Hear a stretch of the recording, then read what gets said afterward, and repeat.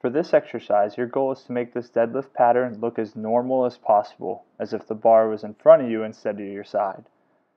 Lift up nice control, driving through your feet.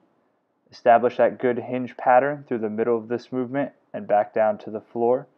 And focus on not allowing your hips to rotate to one side or the other. You're trying to stabilize everything, keep the joints stacked, keep your back nice and straight. It's also going to challenge your wrist to stay stable as well.